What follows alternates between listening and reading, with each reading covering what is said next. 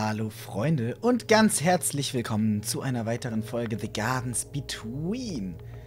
Wir sind hier gerade noch in der Welt mit dem Baumhaus und ich muss gerade wieder ein bisschen reinkommen, weil es tatsächlich ähm, etwas her ist, seit ich das letzte Mal aufgenommen habe. So, damit können wir hier die Teile hoch und runter bewegen. Okay, das bringt uns aber... Ah, Moment. Wir müssen wahrscheinlich... Jetzt ist die Frage. Ich kann gerade die, die Höhe von dem Ding nicht richtig einschätzen. Wenn wir hier unsere Lampe draufstellen. Dann müsste das doch eigentlich... Jawohl, ja, das Licht hier einsammeln. Dann können wir das mitnehmen. Ich schätze mal, ich lasse es jetzt mal auf der anderen Seite runter. Wie weit kann ich das denn? Ich kann das ganz runterlassen. Komme ich da ran? Ich befürchte nämlich, dass es jetzt zu hoch hängt, dass ich da überhaupt nicht rankomme.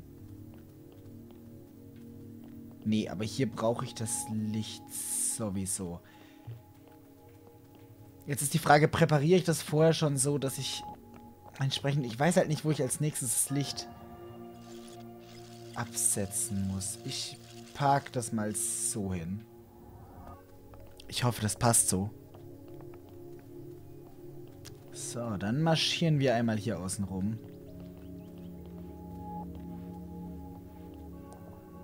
Und es werde Licht. Ach so, ja, stimmt. Wir verlieren unser Licht ja sowieso hier. Total vergessen. So, aber dich können wir jetzt wieder abgeben. Und indem wir das ganz nach unten lassen, bekommen wir hier wieder Licht. Oh, das ist, das ist irgendwie total cool gedacht, das ganze Level-Design. Das gefällt mir gerade echt gut mit den, mit dem, mit dem äh, Flaschenzug, der hier das unterschiedlich hoch und runter kurbelt. Das, ach, ist echt super.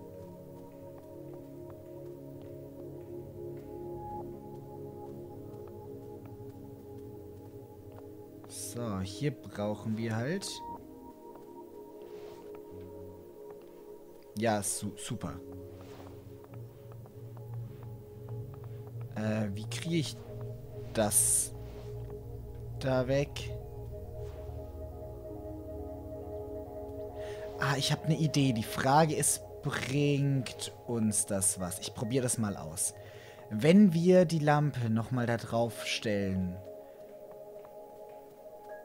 auf diese Ebene hier. Stell mal die Lampe da drauf. Reicht das, um das Licht da zu entfernen? Ja, tut es.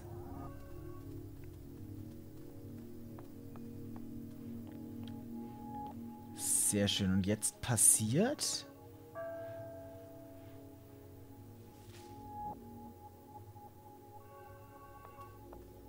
Okay. Das muss ja aber zu irgendetwas gut sein, oder? Weil wenn ich mir jetzt das Licht schnappe, dann muss ich ja jetzt doppelt denken, oder? Jetzt ist das im Weg. Wenn es da oben ist, gibt es da irgendwas, wo ich mein Licht verlieren muss? Und wo, beziehungsweise wozu ich mein Licht verliere? Ja, da oben, weil dann der Nebel weggeht. Da ist so eine Nebelbrücke. Okay, dann passt es ja. Aber dann habe ich ja schon mal gut vorausgeplant. So, Licht hinfort mit dir. Achso, ich, ich will auf den Leitern immer nach oben drücken. Ich, muss, ich kann ja nur nach links oder nach rechts drücken, um die Zeit vorwärts oder rückwärts zu spulen oder entsprechend. Nein, halt. Du aktivierst das. Dann müssen wir es erstmal ganz hochfahren. Ganz nach oben. Dann stellen wir die Lampe da drauf. Ähm. Ähm. Ich wollte eigentlich die Lampe drauf abstellen. Das macht jetzt...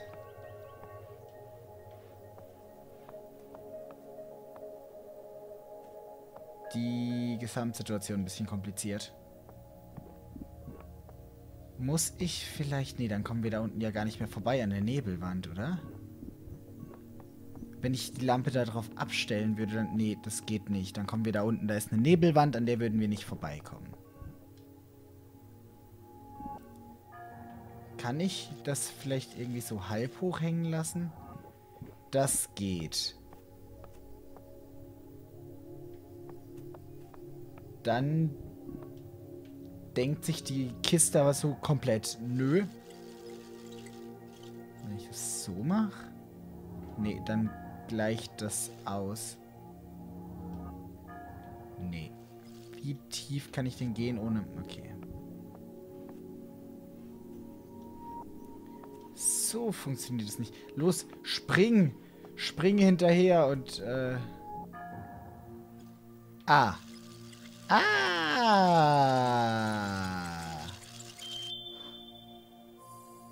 Ach so, ja, natürlich. Da habe ich ja gar nicht mehr dran gedacht, dass das funktioniert.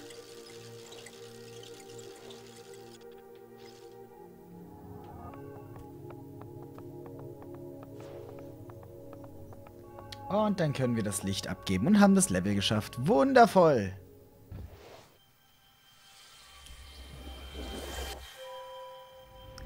Das hat mir von der Denkweise her sehr gefallen. Und wir haben die Welt abgeschlossen.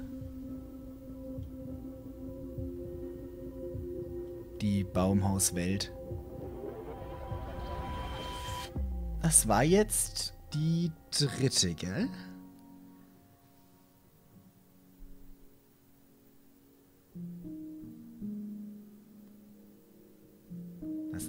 Das Baumhaus zu bauen. Ich meine, das war... Oder war das erst die zweite? Bin ich jetzt blöd? Es gab doch irgendwas vor dem Wohnzimmer, oder?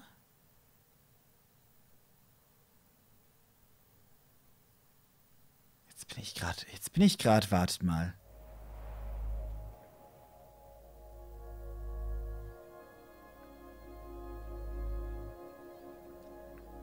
Doch, ich meine, das Umzug-Ding war auch eine eigene Welt. Was haben wir hier jetzt? Das linke ist ein Computer und ein Rechenschieber und das rechte ist ein Fossil, ein Dino-Schädel oder so. Mal schauen, was uns da erwartet. Mal schauen, was uns da erwartet.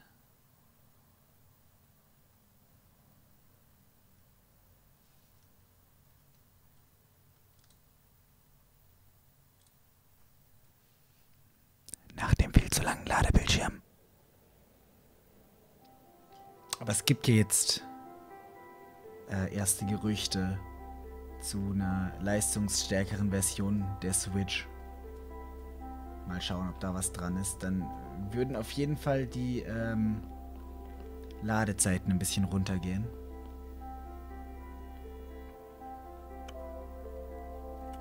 Zwei, sieben, sechs, vier. Okay, das hat bestimmt noch irgendwas zu 7, 2, 7, 7, 2, 7, 6, 4. Ähm, ja, da werden wir bestimmt noch ein Passwort brauchen oder so.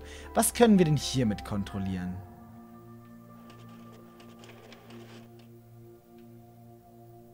Den Drucker. Aber mehr als ein Blatt rauslassen tut er auch nicht.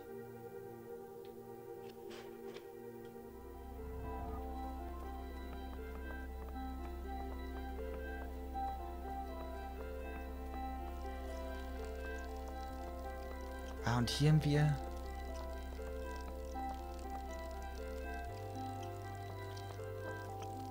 Sechs, vier... Vier? Moment, was, was leuchtet denn? 6, 4, 4, 6, Moment. Habe ich einen Stift? Da habe ich einen Stift und da habe ich was zum Schreiben. 6, 4, 4, 6, 7, 8.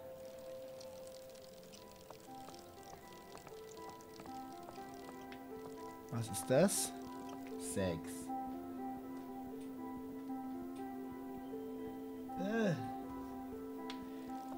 So, dann probieren wir mal, ob wir die Zahl irgendwie draufkriegen. Beziehungsweise, wir kriegen sie ja vermutlich irgendwie drauf. Die Frage ist, wie wir sie draufkriegen.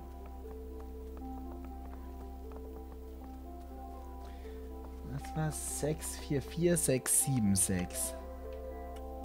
6, 7, 6. Jetzt, guck mal, das war ja sogar... Ich hatte halt die ersten zwei Ziffern schon drauf, voll geil. Was ist denn das? System, irgendwas... Ähm.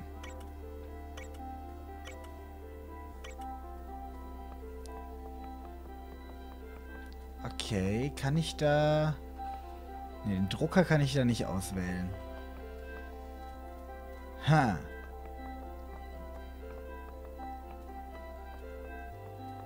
Mal schauen, was wir damit jetzt noch machen können. Welche neuen Möglichkeiten sich uns hier offenbaren.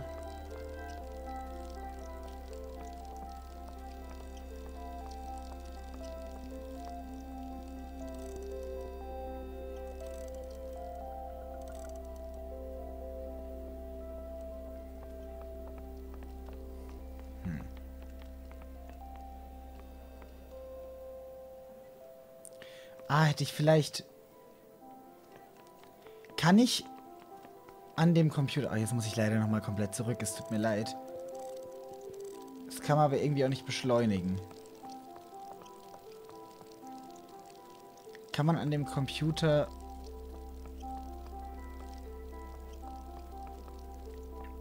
das Licht da freigeben?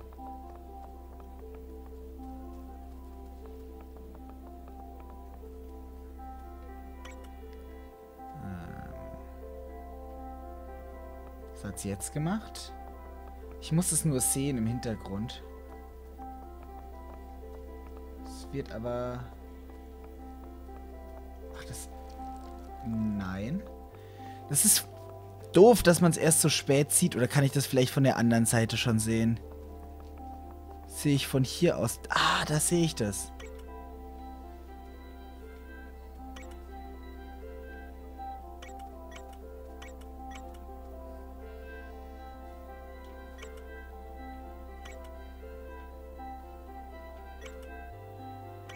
Verstehe ich es nicht.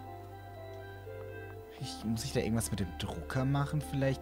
Jetzt, das ist jetzt ist glaube ich der Drucker ausgewählt, oder?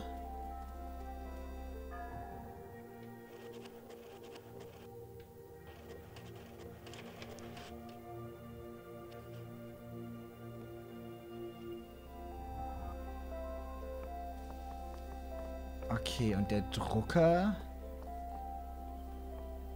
sagt irgendwas von wegen Sternen?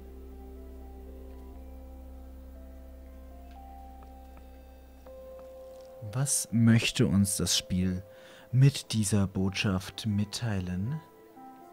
Also blau ist vermutlich der Junge und rot ist das Mädchen, weil äh Vorurteile und so.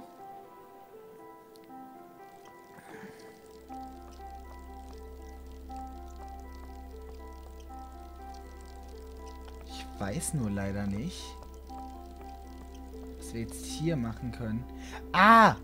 Moment. Moment. Ich muss noch mal ganz kurz... Da haben wir nämlich...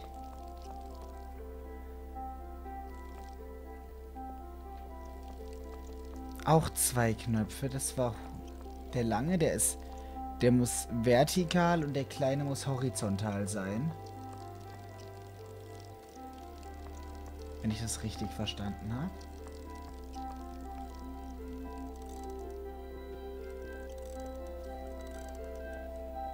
Die Frage ist...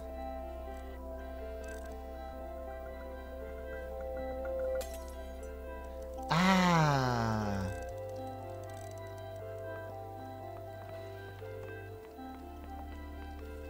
Schau mal einer, guck. Und jetzt Müssen wir aber trotzdem die Pflanze... Kann ich die Pflanze vielleicht auch mit irgendeiner Frequenz zum Leuchten bringen oder brauche ich dafür wieder den Computer? Ich befürchte ja, dass wir dafür den Computer brauchen.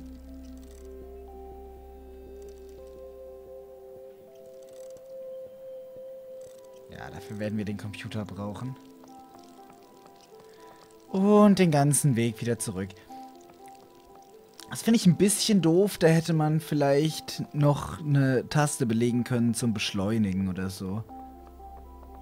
Dass man eben, wenn man, wenn man sehr viel so Backtracking machen muss, wie jetzt hier in dem Level zum Beispiel.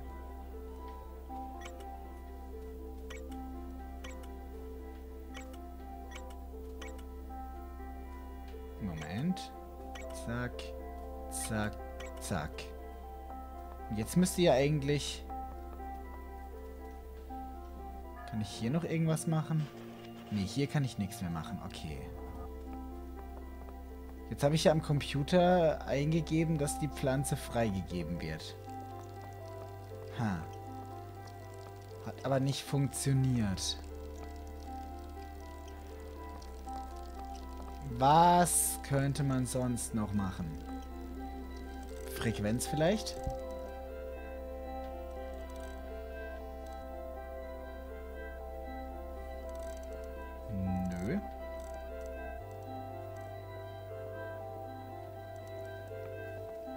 Um weiterzukommen, brauchen wir definitiv Licht.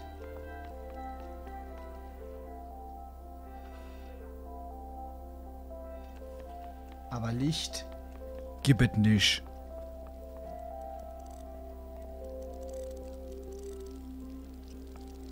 Was haben wir denn sonst noch für Optionen?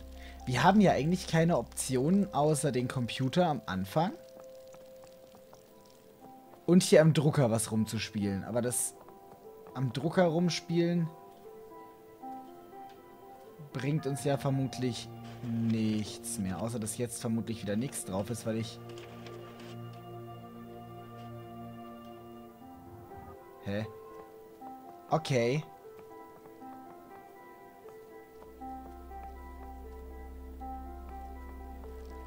Aber es hat doch jetzt... Was bringt uns das denn jetzt? Ich meine, ja, wir haben ein Bild von der Pflanze.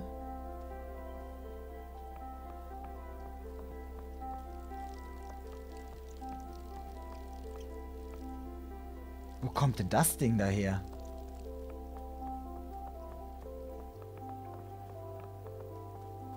Ah, Moment, ich habe, ich habe eine Idee.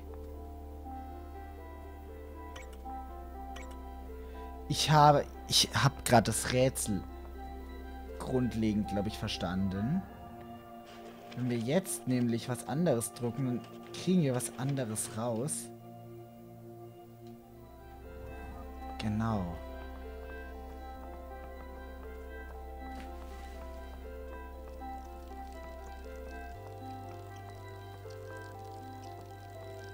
Bin mir noch nicht ganz sicher, was uns das bringt, beziehungsweise wo das Teil wieder rauskommt. Ich will das jetzt nur ganz kurz ausprobieren. Okay, das scheint uns vorerst nicht weiterzubringen. Weil wir damit noch überhaupt nicht interagieren können. So, was war die letzte Option?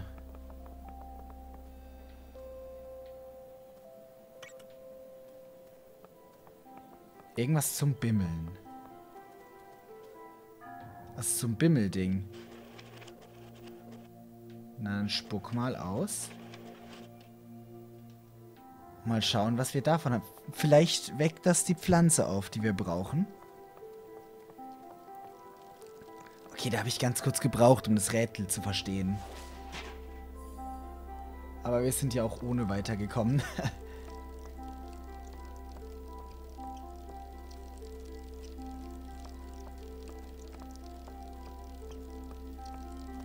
Jetzt stellt sich nur die Frage, bringen uns die anderen Optionen auch noch was oder war das das ganze Rätsel? Ist es jetzt, weil wir haben jetzt die Pflanze und da drin ist das Ende des Levels. Nein, dann war, dann war es das tatsächlich. Und das andere war nur, um, ja, zu zeigen, so, ja, es gäbe vielleicht noch andere Optionen. Wir machen nicht nur das rein, was euch weiterbringt. Okay, cool. Nice. Super nice. Freunde, dann würde ich aber sagen, um das Level hier kümmern wir uns dann in der nächsten Folge. Ich hoffe, die Folge hat euch soweit gefallen. Wenn ja, dann lasst ein Däumchen nach oben. Da würde mich sehr freuen. Um keine weiteren Folgen zu verpassen, abonnieren nicht vergessen. Wir sehen uns beim nächsten Mal. Bis dahin und ciao, ciao.